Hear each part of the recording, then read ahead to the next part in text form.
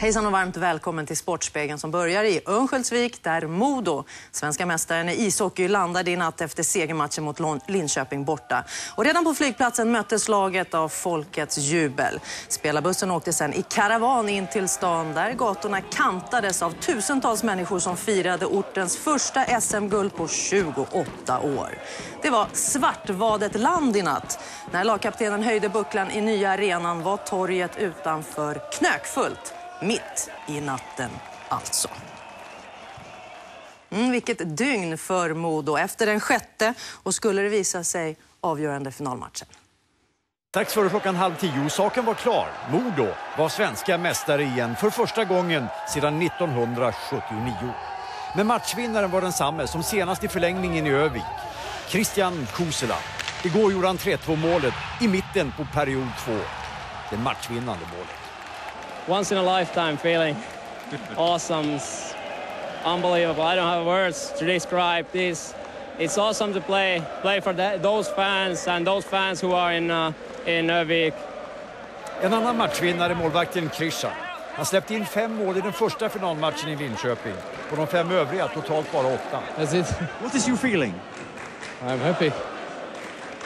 Igår gjorde Linköping bara två mål i powerplay och båda i den första perioden. Det är klart, utan en bra målvakt vinner du inte. Så har det varit i alla år och kommer alltid att vara. Han är ju tungan på vågen när vi får den här pressen på oss. Men tycker han har fått bra hjälp. Vi har ju riktigt bra backar också. Och dessutom mycket NHL-rutin. Åtta av Modospelarna har tidigare i karriärerna spelat 1894 NHL och Stanley Cup-matcher.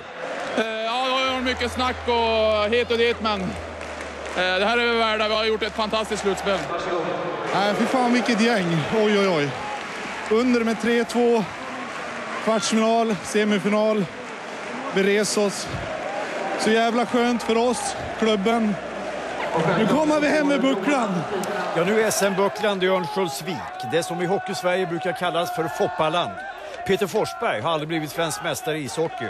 Men Modo är svenska mästare igen.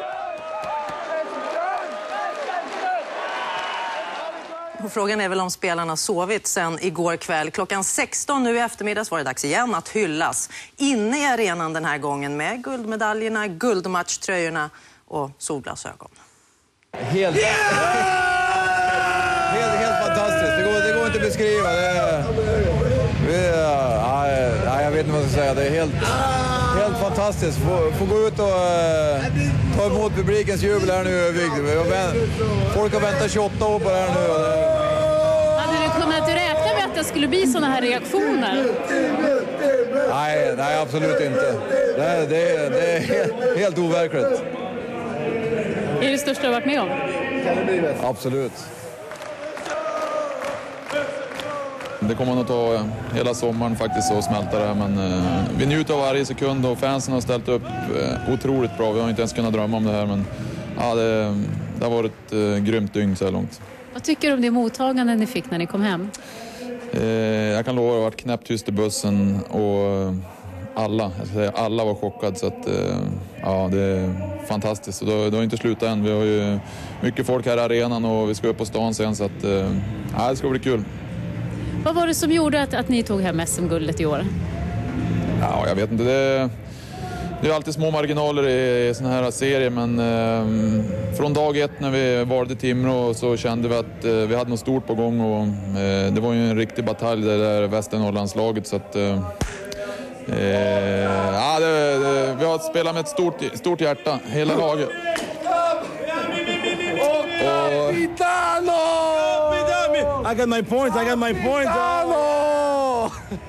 Ja, det är kul. Du behöver inte ställa några mer frågor, vi förstår. Ja, det, de är glada, killarna. Kul.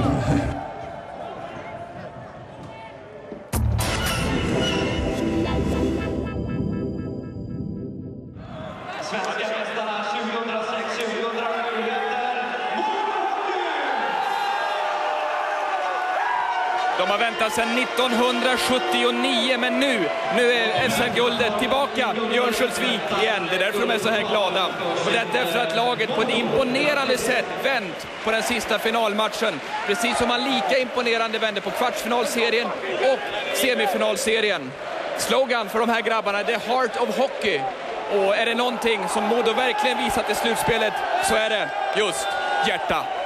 Det är det som är Modo, ett hjärta som pumpar regional stolthet. Lagets alla svenskar utom två, plus Miloslav Horsava, är juniorfostrade i Övik. Det är så ett vinnarlag svetsas samman. Och när puckarna ven kring Krishan i slutet stod de rutinerade svenska NHL-veteranerna på isen, alla fem. Men hemvändarnas största insats, den gjordes långt före slutsigår och under lång tid. Vid sidan av lyckade Lyckner så är det svartvadet Timander, Jonsson och kompani som fått de yngre att lyfta sig. Mentaliteten är enkel. I Modo jobbar alla för varann och den utböling som inte täcker skott eller ger allt, han kan leta ny klubb.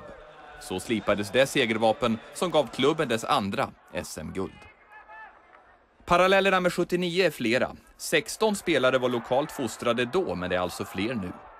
Och precis som när guldet säkrades för 28 år sedan låg Modo under med både 0-1 och 1-2 innan vändningen kom.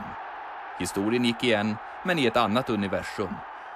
Ulf Norberg till exempel som gjorde mål här, han var snickare och andra tongivande spelare i Sandlins lag var kommunalarbetare, fabriksarbetare och maskinister. 2007 är verkligheten en annan, även om Modo ligger långt ifrån toppen av löneligan, än så länge. Klubbens viktigaste guld var nämligen bärgat redan före säsongen. När lagledningen byggde ett guldlag byggde klubbledningen en guldkalv. Det finns inga likhetstecken mellan ny arena och bättre ekonomi. Det krävs resultat också. Och därför är arenan i Örnsköldsvik en garanti för fler framgångsrika säsonger. Publiksnittet har ökat kraftigt och klubben omsätter idag 120 miljoner, alltså dubbelt så mycket som i fjol. Och efter matchinledningen igår var jag säker på att få åka upp hit imorgon igen. Linköping var klart bättre i den första perioden, men så i den andra så hände någonting. Det var den andra perioden som blev avgörande. Hemmalagets anfallsspel var uddlöst, försvarsspelet var förvirrat och Stanja, målvakten, han började att svikta. Och LHCs dröm om ett första SM-guld, ja, det kom hit, men inte längre. Men LHC ska ändå hyllas för en fantastiskt fin säsong. Och kul att se Per Svartvadet obekväm för första gången kanske den här säsongen lite tidigare under våra inslag. Där lämnar vi SM-finalen och de svenska mästarna för den här